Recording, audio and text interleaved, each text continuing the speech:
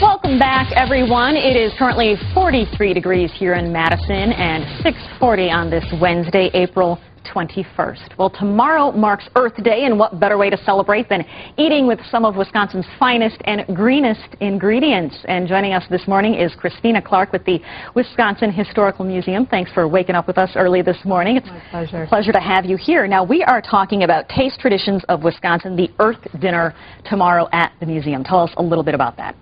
Well, the Earth Dinner was started by Organic Valley in 2004 as a way to connect people to their foods, um, get their families around the table and friends to consider where our food comes from, um, the important relations we have with the people who produce that food, such as farmers. Um, and it's a very powerful way to vote with your fork, um, as they say. Um, you can really make a big difference in that simple choice of what you eat and what you put on your table um, in far, as far as uh, being environmentally conscious. Okay, and give us an idea to think about that. of some of the um, options available tomorrow for diners at the museum.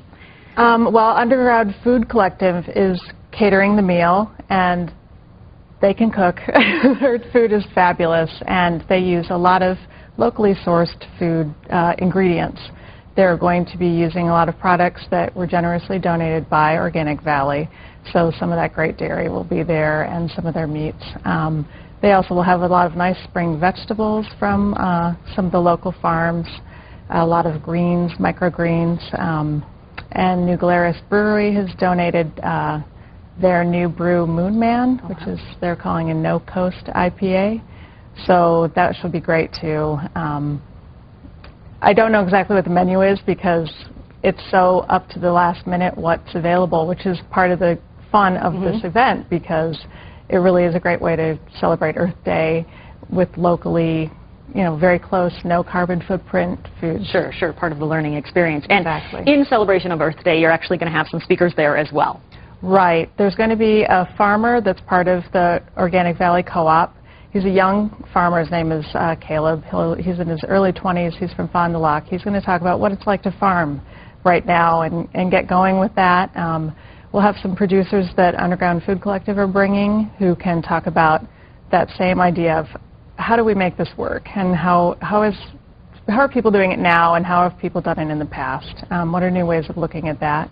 And uh, Jean Feraca from Here on Earth uh, on WPR will be there. She'll kind of she's got a lot of experience talking about food and people enjoying good meals together and, and how we can build community through meals that are shared. Okay. Sounds very interesting, and we are about out of time, but we do want to mention that the Earth Dinner itself is sold out, but this is in conjunction with an exhibit for Earth right. Day at the museum, and as you mentioned, a continuing series. So if you missed this Earth, this dinner, you can get, uh, get involved in the next one. Absolutely, yeah. We have a great bunch of programming to go at the Gaylord Nelson Earth Day exhibit that's at the museum through June 19th. So if people miss this, there's certainly other things that they can get involved with. Okay, wisconsinhistory.org. Check it out. Christina Clark from the museum, thank you so much for Thank being here this morning. Us. We appreciate it. Charles